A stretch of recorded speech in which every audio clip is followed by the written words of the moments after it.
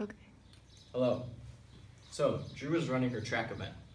Right now, she has a time of 59 seconds. To qualify for states, she needs a time of 57.5 seconds. This means that she needs to decrease her time by 1.5 seconds. So we need to figure out what percentage 1.5 seconds is out of 59. To do that, we can just divide. 1.5 divided by 59. So the percentage 1.5 out of 59, if we calculate this, is 0.0254. However, this is just a proportion. To get a percentage, we need to multiply by 100.